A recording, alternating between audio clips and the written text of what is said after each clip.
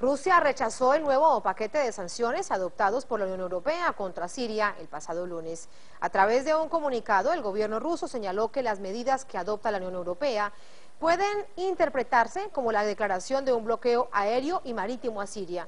La nota destaca que la postura de Moscú de rechazo a las sanciones unilaterales es ampliamente conocida y declara que no las reconoce, las considera contraproducentes y no corresponden con la letra y el espíritu del plan de mediación internacional de Kofi Annan.